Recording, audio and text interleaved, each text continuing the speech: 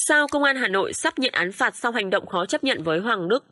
Trận derby thủ đô thứ ba liên tiếp của V-League 2023 giữa Công an Hà Nội và Viettel đã diễn ra cực kỳ hấp dẫn trên sân vận động hàng đẫy với tỷ số 2-1 nghiêng về Viettel. Dù có chất lượng chuyên môn là khá cao, nhưng tính cạnh tranh của một trận derby đã khiến cho trận đấu xuất hiện nhiều pha phạm lỗi nguy hiểm trên mức cần thiết. Theo đó, ở phút thứ 52 của trận đấu, cầu thủ Hoàng Văn Toản bên phía Công an Hà Nội đã có pha vào bóng bằng gầm giày cực kỳ nguy hiểm với Hoàng Đức. Tiền vệ của U23 Việt Nam sau đó đã phải nhận một chiếc thẻ vàng cảnh cáo của trọng tài chính sau tình huống chơi bóng có phần triệt hạ đối thủ.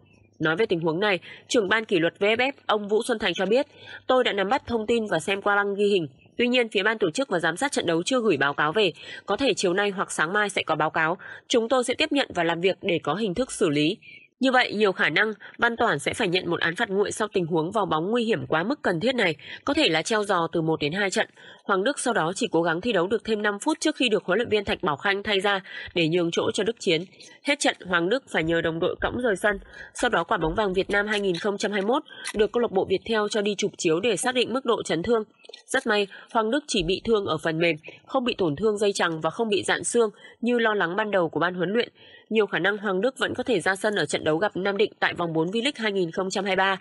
Trong thời gian FIFA Days của tháng 3, Hoàng Đức chắc chắn cũng là nhân tố không thể thay thế của đội tuyển Việt Nam. Rồng vàng được Hồng Kông mời đá giao hữu cùng với Thái Lan và Singapore.